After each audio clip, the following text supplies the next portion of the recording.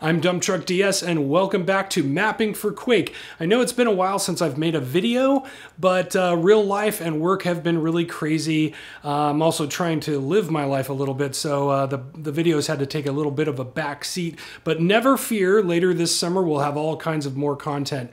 Uh, I'll do some tips, videos, and tutorials and things like that, and uh, I have all kinds of things planned. So I'm not going anywhere, just sometimes the pace slows down a little bit. Now in this very quick video, I'm going to show you how to fix a common issue, uh, the pitch black monster and model problem that arises when you have either a void map or uh, a pit that, or just weird geometry that causes this kind of strange lighting issue.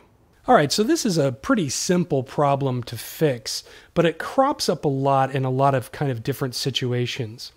What I have here is I have a pit that's covered by a door.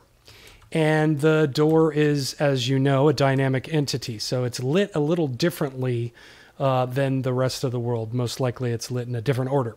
I don't know the real technical reasons behind this, but what will happen is any model that's directly above this is gonna not going to be lit by this surface, but it's going to be lit by the next piece of world geometry uh, below it.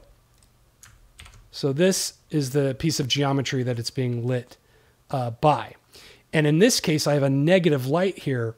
As you can see, the value is negative 400.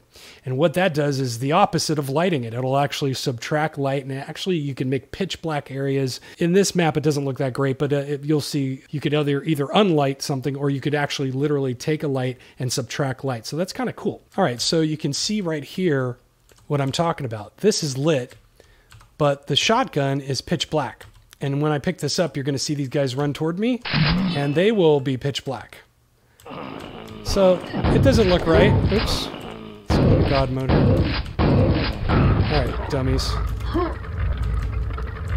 And there's that negative light I was talking about. It probably could be done a lot better, uh, but uh, it is a cool effect, and you should give it a shot.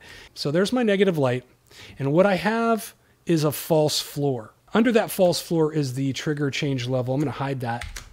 And now you can see the world geometry, the world spawn that uh, is the bottom of the map. So that's what's going to light the models way up here. So what you do is what I did in this case is I created a light. You'll have to figure out how bright you want it, but I discovered that 600 in this case worked well for what I needed. And then I also have the light pointing straight down, which is 90 degree or negative 90 degrees.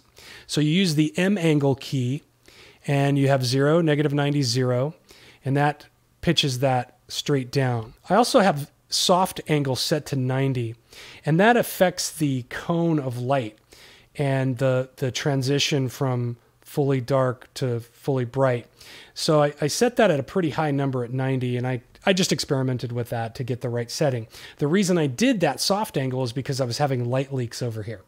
So it, it, some of these settings you just have to kind of mess around with, monkey around with. There's more advanced mappers out there that know exactly how to game all this stuff and figure it out. So we'll compile that. We'll go into the map, and now we've got the lighting working pretty well. It looks normal now. This, there's a little bit of a blink there because there's some weirdness with the geometry, but but we're fixed. It's working. I want a no clip down there so you can actually see what this looks like down inside of there. So it's a common problem, but it's an easy fix as you can see. Now this will happen in void maps if you have a lot of black textures all around and if you have a really large area that you're trying to light.